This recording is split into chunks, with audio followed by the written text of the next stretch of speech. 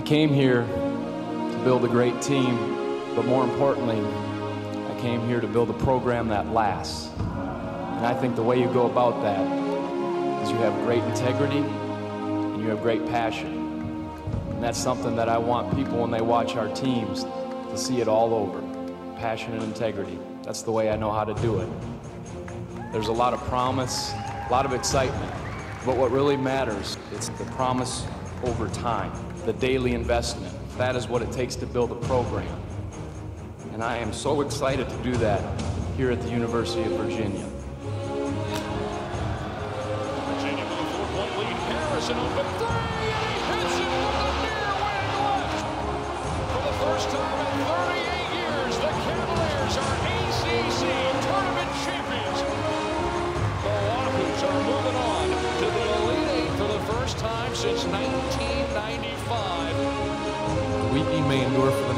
but joy comes in the morning. Absolutely, joy will come in the morning for what these guys have established for Virginia basketball. You guys have honored the pillars in the program, and that's the greatest gift to me.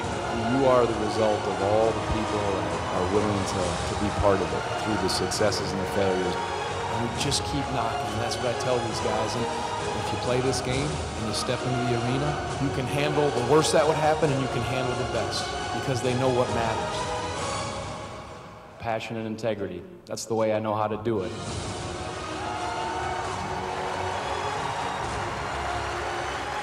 I want you guys to just take a look at each other. Just kind of remember this moment. I want you to look at each other. The guys that played for us before, the guys who've been part of this. Do me a big favor.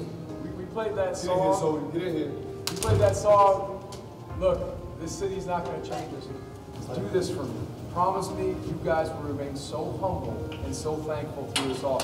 This this is unbelievable. It is. But stay humble and stay so thankful. You you just experienced something so good. And these guys built the foundation and you guys just built on it and built on it. And it's unbelievable. So I, I just give thanks. You know how I feel about you guys and about this is really about family.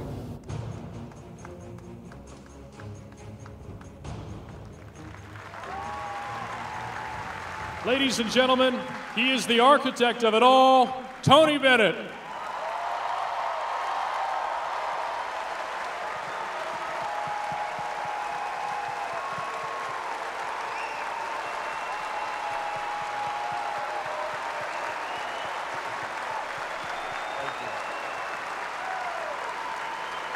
Thank you.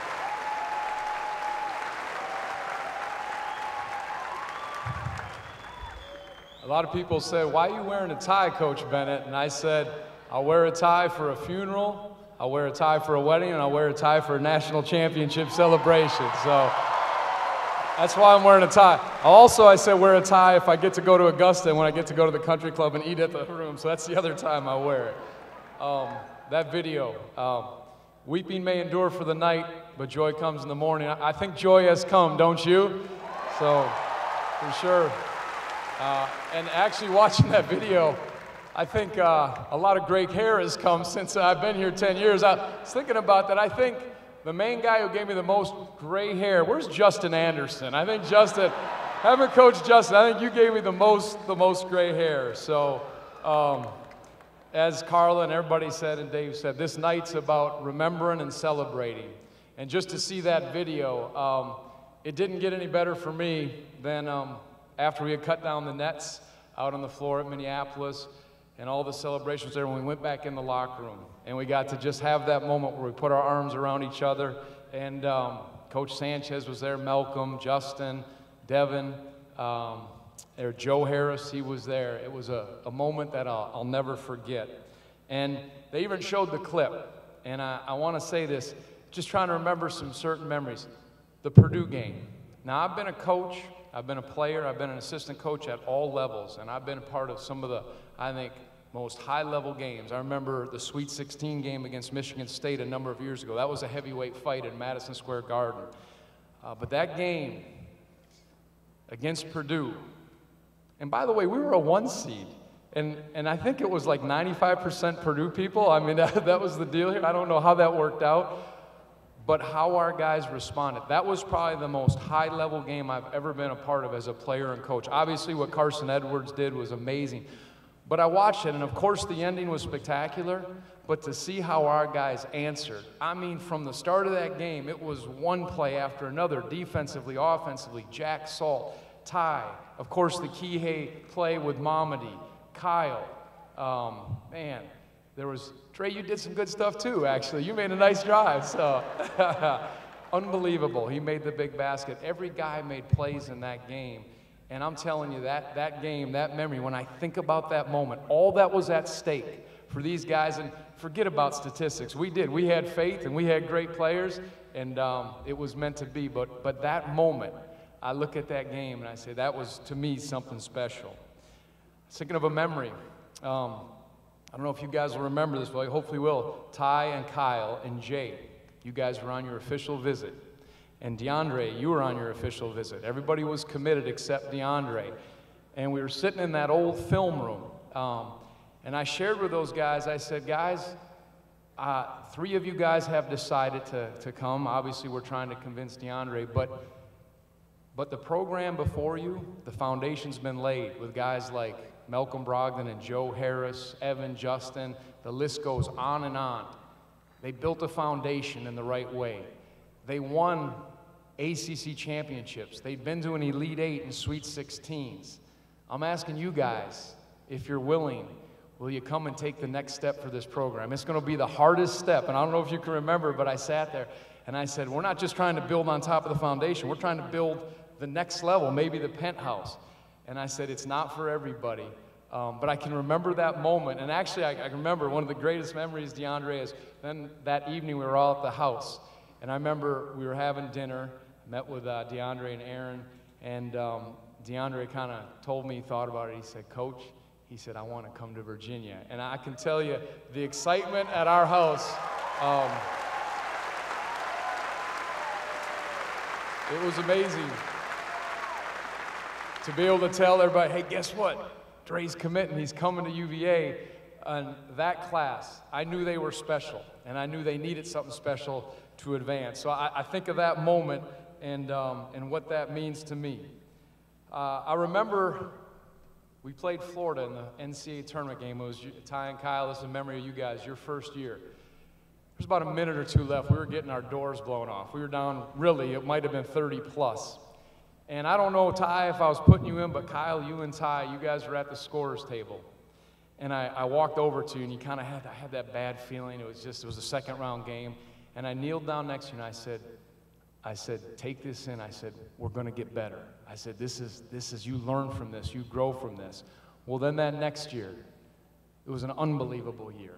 And obviously, you know how it ended. I decided at that moment, after that game, I said, you know what? We're going to honor our seniors, our fourth years. We're going to honor Isaiah and Devin. They don't need to go up to the podium to do the, the press stuff. And I said, Ty and Kyle, I said, you're, you're coming with me. And we sat in this holding room, and we knew what had happened. We know the historic loss, everything was there. And I remember us looking at each other, and we both had that, that feeling. All of us had that feeling. And I said, This is the start. I said, We're going to grow from this. This is going to be one of the hardest things, but you're going to sit on that podium and we're going to take all the criticism, we'll take all the questions, and we're going to go up there. And we were numb. I don't even know what we said. It was so hard. But you guys, you stood in there, and then the season came, and then I saw what unfolded. And um, that's the memory I have. That's real stuff. That's not fake. Um, when I think of this team, um, I think of a I think of a proverb. I might have shared it to him before, but it's a proverb that says, uh, "A desire accomplished is sweet to the soul," and and this is about as sweet as it gets. And I was watching the U.S. Open just this week, and Rafa Nadal made a comment, and I heard it, and I thought of you guys right right away. He said, "Every champion must be willing to endure suffering," and I thought of this team because on the backdrop of this accomplishment, um, and I look at it, um, that's probably the thing I'll hold most dear when I think about it. How you guys endured, uh, what happened in the face of that, and what it did for us. Yeah, it produced what we're going to raise. I think the banner's there. I think we're, I don't even know where we're raising the national championship banner. But yeah, it produced a national championship season and banner. But, but I think what it did was something to me maybe as great or greater. Um, it produced a, a level of trust, a, a, deepening of a relationship, and um, it was with each other. I think we knew we were going to need each other, and if we didn't know it, in a more powerful way for what all was going to come at us in that year. And I think about that, and I think of the bond that it brought to us, and I think of what it did. And, um, you know, to me, that was one of the most powerful ways to go through a season. There's a line we're going to show you. I think we're showing you a video tonight. We used a lot of music. There's a line um, from a song, Back Home by Andy Grammer, and it says, Here's the people who had your back when the world didn't understand. We won't forget where we came from. And, and when I think of that, when I think of all we had to go through, and I think of, of what that was, that was our teammates having each other's back. That was our families having each other's back. Um, to go through that is one of the most amazing things. And again, that probably is, is the greatest thing. And I think that's where that theme, United Pursuit, that's where it was born. Um, you know, I also believe that victory brought some healing and some unity to our city and our community, the one we love, this university. I saw some things, and I, I'm so grateful for that too. So um, I want to share that. So I was thinking about it. I think every, at least every coach, I don't know if every player, had their moment during the NCAA tournament run when they broke, when they were just overwhelmed.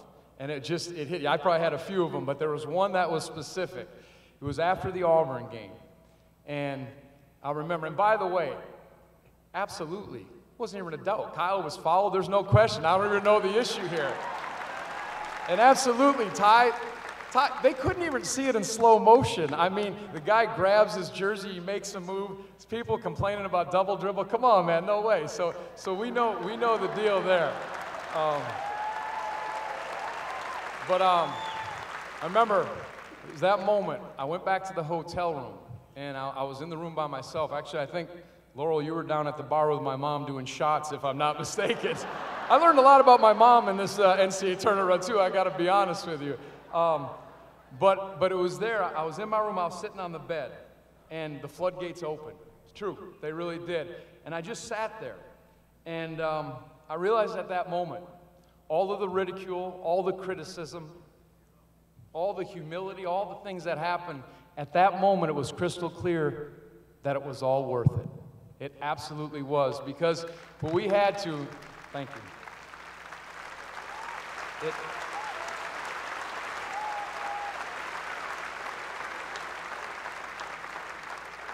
it, it made sense. It really did. And, and I think that, that moment, it, it kind of drew home that we tried to rally around that quote, um, that quote from the TED Talk that we've talked about a lot, that um, if you learn to use failure, suffering, adversity right, it can buy you a ticket to a place you couldn't have gone any other way. And um, I, I, um, I have this in my pocket.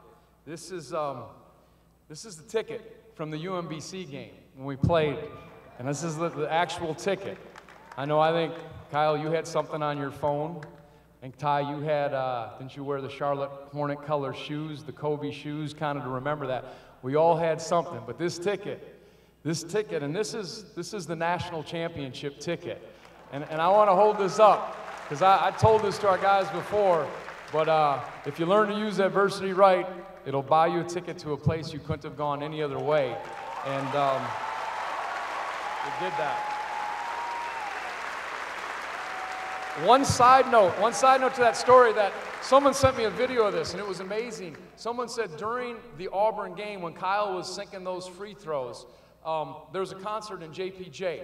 There was a Charlie Daniels band was performing right at that time. And they said when Kyle was at the line, everybody was standing up. Some people obviously were watching their phones, but he was performing the song um, he, he, sang the old church hymn, How Great Thou Art. And he said, everybody's standing up singing that song, as Kyle makes the last free throw, the crowd's raising their hands, going nuts, and they're singing How Great Thou Art. I just think that's amazing. I really do. I have that on video. So um, there was a lot of stuff going. So, as I said, uh, tonight we're here to celebrate. And um, I think we're celebrating, I know I'm a little biased, but I really believe it's one of the greatest sports stories ever told.